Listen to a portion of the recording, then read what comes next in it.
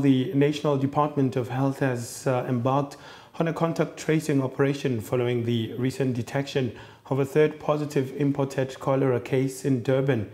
It's reported that the patient is a 24-year-old man who landed at the King Shaka International Airport from Pakistan over a week ago, showing severe symptoms of cholera.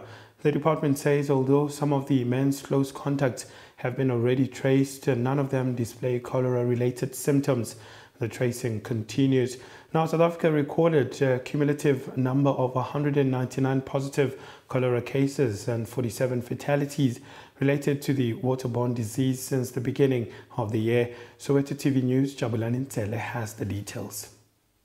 Umnyango wezempilo kuzwelonke usuqale uhlelo lokulandelela abantu abaye bahlangana nomliso otholakale nesifo sohudo phecelezi ikholera. Lo mliso neminyaka engamashumi amabili nane ubudala bevakashele ezweni lasePakistan kubikwa ukuthi ufikele esikhumulweni sezindiza iKing Shaka International Airport eThekwini esifundazweni saKwaZulu Natal ngeviki ledlule nezimpawu zalesifo sohudo nobese ephuthunyiswa esibhedlela ukuze ethole unyango. Lo muntu oqoshwe kamuva ukhuphule isibalo sabantu abafika nesifo sohudo kulonyaka baba bathathu kwazisa ababili batholakala nalesifo besuka ezweni laseMalawi ngaseqaleni kwalonyaka.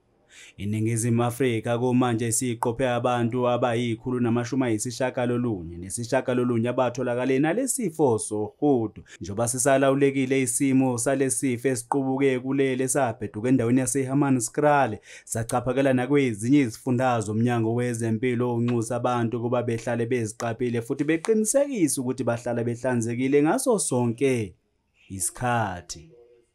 Ezindabeni zeSoweto TV ngingujabulani Ntsele